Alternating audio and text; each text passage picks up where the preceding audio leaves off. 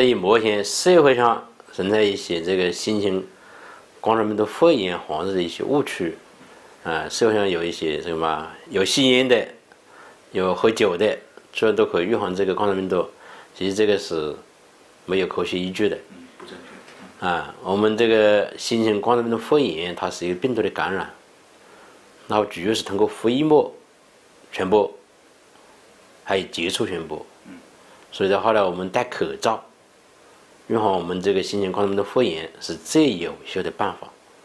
另外的话呢，我们一定勤洗手，啊，特别是外出之后一定勤洗手。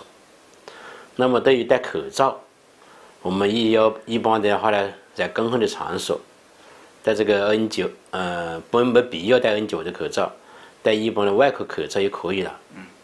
那么对于密切接触的，你像有这个从武汉回来的人呢，你跟这些人密切接触的话呢，那我们要戴 N 九的口罩，啊，那是最好的。啊。